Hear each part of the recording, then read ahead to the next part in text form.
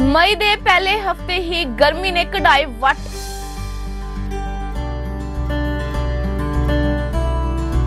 ਜਨਤਾ ਹੋਈ ਹਾਲੋ ਬਿਹਾਰ।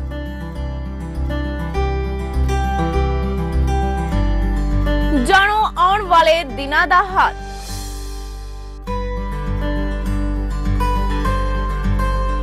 ਸਤਿ ਸ਼੍ਰੀ ਅਕਾਲ ਜੀ, ਮੈਂ ਸ਼ਰਮਾ, ਚੜ੍ਹਦੀ ਕਲਾ ਟਾਈਮ ਟੀਵੀ ਦੇਖ ਰਹੇ ਸਾਰੇ ਦਰਸ਼ਕਾਂ ਦਾ ਬਹੁਤ-ਬਹੁਤ ਸਵਾਗਤ ਕਰਦੀ ਹਾਂ।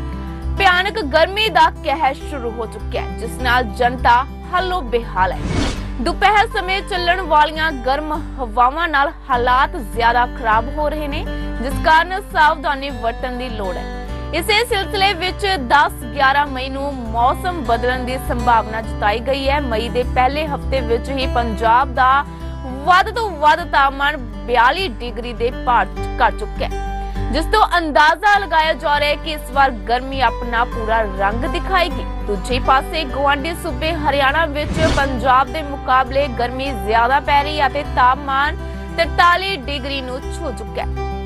9 ਮਈ ਨੂੰ ਇੱਕ ਤਾਜ਼ਾ ਪੱਛਮੀ ਗੜਬੜੀ ਉੱਤਰ ਪੱਛਮੀ ਭਾਰਤ ਨੂੰ ਪ੍ਰਭਾਵਿਤ ਕਰ ਸਕਦੀ ਹੈ, ਜਿਸ ਕਾਰਨ 10 ਅਤੇ 11 ਮਈ ਨੂੰ ਪੰਜਾਬ ਅਤੇ ਗਵਾਂਢੀ ਸੂਬਿਆਂ ਦੇ ਮੌਸਮ ਵਿੱਚ ਬਦਲਾਅ ਹੋਵੇਗਾ। ਇਸ ਸਿਲਸਿਲੇ ਵਿੱਚ ਮੀਂਹ ਅਤੇ ਤੂਫਾਨ ਦੀ ਸੰਭਾਵਨਾ ਜਤਾਈ ਗਈ ਹੈ। ਇਸ ਅਨੁਸਾਰ 11 ਤੇ 12 ਤਰੀਕ ਨੂੰ ਕੁਝ ਥਾਵਾਂ ਤੇ ਹਲਕੀ ਤੋਂ ਦਰਮਿਆਨੀ ਬਾਰਿਸ਼ ਪੈਣ ਦੀ ਵੀ ਸੰਭਾਵਨਾ ਹੈ। ਇਸ ਦੌਰਾਨ ਭਾਰੀ ਮੀਂਹ ਅਤੇ ਤੂਫਾਨ ਦਾ ਵੀ ਅਲਰਟ ਜਾਰੀ ਕੀਤਾ ਗਿਆ। ਵੱਧ ਰਹੇ ਤਾਪਮਾਨ ਵਿਚਕਾਰ ਸਰਹੱਦੀ ਇਲਾਕੇ ਅੰਮ੍ਰਿਤਸਰ ਵਿੱਚ ਪਾਰਾ 42 ਡਿਗਰੀ ਤੋਂ ਉੱਪਰ ਪਹੁੰਚ ਗਿਆ, ਜਦਕਿ ਫਿਰੋਜ਼ਪੁਰ ਵਿੱਚ ਵੀ ਤਾਪਮਾਨ 42 ਡਿਗਰੀ ਨੂੰ ਛੂ ਚੁੱਕਾ ਹੈ।